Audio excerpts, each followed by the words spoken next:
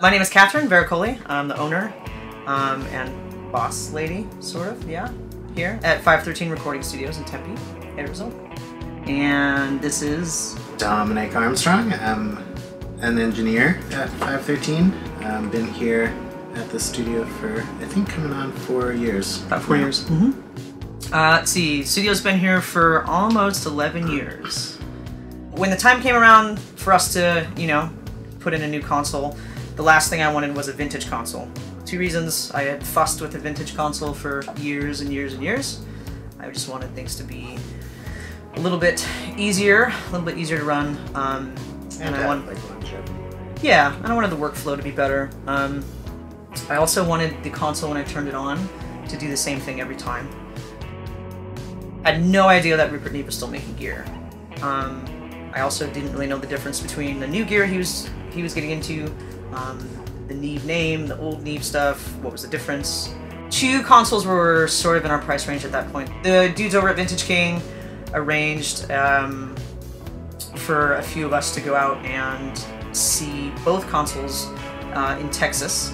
First stop that we made on our slingshot trip, literally like 14 hours there one night, 14 hours back, um, was a studio in Wimberley that had just installed a really beautiful 5088, and we showed up and we're kind of Phoenix, dirty Phoenix punks, and um, this beautiful studio in Wimberley. Met up for the first time with um, the sort of founders of the company, and it was the first time I met Josh.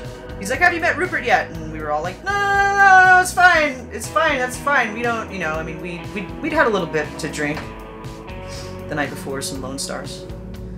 You know, it's a good Texas beer. Yeah. Yeah. So, Star. um, I'm a Lone Star. uh, we're all Lone Stars, baby.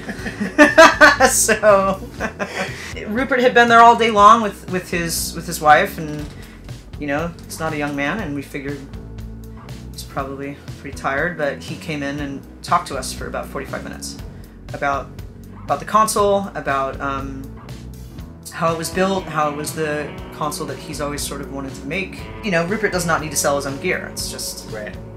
of any of anyone. So um, the whole experience with with um, that particular day and all the days since then with the staff um, have been wonderful. So uh, not to mention the console is incredible.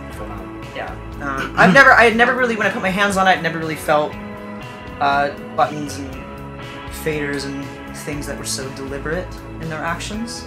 Um, it was just Yeah. quality, the way it was built, um, solid, just solid and deliberate. I, I mean, I've been in the room with tons of other consoles. I've never experienced anything like it. Just the way it felt. Yeah. Um, so, yeah, on the way out, the boys were like, "Yep, we're gonna get that one."